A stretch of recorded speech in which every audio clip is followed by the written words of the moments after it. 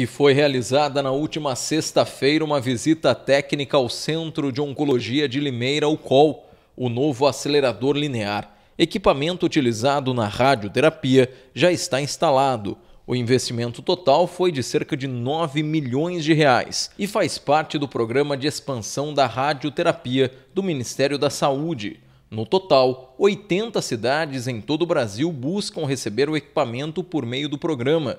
No caso de Limeira, ele estava parado desde 2011 e foi possível por intermédio do deputado federal Miguel Lombardi. Dentro de cerca de dois meses, após os testes que precisam ser feitos, a capacidade de atendimento do COL de Limeira deve dobrar. A previsão é que em dois, no máximo três meses, a gente já inicie o funcionamento. O equipamento já está funcionando agora em testes é, vai fazer com que a gente aumente a capacidade de tratamento enormemente aqui na Santa Casa. A gente foi é, incluído num programa do governo em 2012, que é o programa de expansão da radioterapia, e esse programa estava meio parado. É, e o Miguel conseguiu destravar isso lá no Ministério da Ciência e Tecnologia, e a gente agora consegue aí, ser uma das primeiras cidades a receber o equipamento. É, toda a documentação foi enviada, foi um, um recurso destravado desde 2012, que infelizmente não saía e graças a Deus essa conquista de todos. É uma conquista da nossa cidade, é um avanço é, na saúde aqui de Limeira.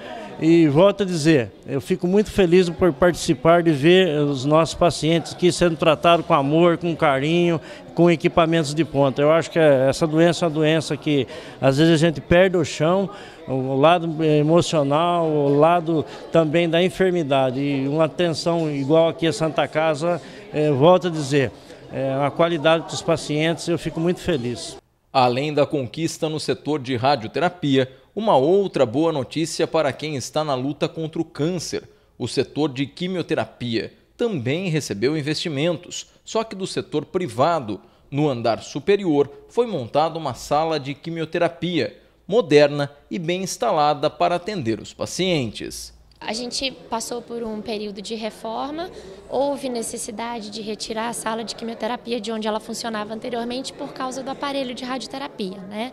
Então a gente optou por trazer a quimioterapia bem próximo da gente mesmo, é, funcionando no andar de cima, onde havia antes um auditório. Então assim, a questão de número de atendimento, muito provavelmente isso vai se manter, mas com uma qualidade muito superior. Agora, a qualidade encontrada aqui pós-reforma, quando a gente está falando em, em, tratamento pelo SUS, é, é difícil encontrar um, um patamar desse na região. Sim, a gente sempre teve essa visão de trabalho de tratar os pacientes de uma forma igual. É, a, a, mesmo anteriormente isso já funcionava assim, vai continuar funcionando assim.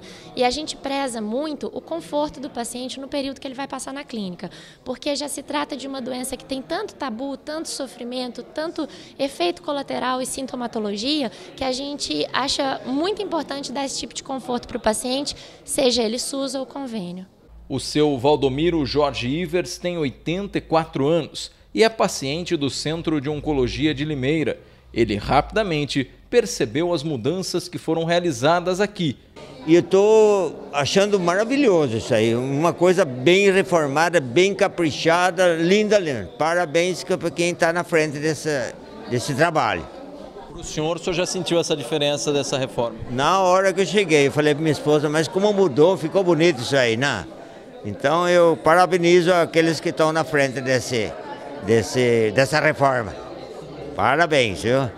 A capacidade de atendimento no setor de radioterapia no Col de Limeira é de 80 pacientes por dia, número que deve chegar a 160 a partir de setembro, além de contar agora com um equipamento ainda mais moderno. É, na verdade, o que essa máquina tem de diferente da outra é um tipo de energia que a gente chama de elétrons. Ela vai facilitar para que a gente faça tratamento de tumores superficiais. Um exemplo é os tumores de pele. Os demais tumores a gente vai continuar tratando da mesma maneira. E olha, eu fiquei muito feliz do que eu vi aqui hoje.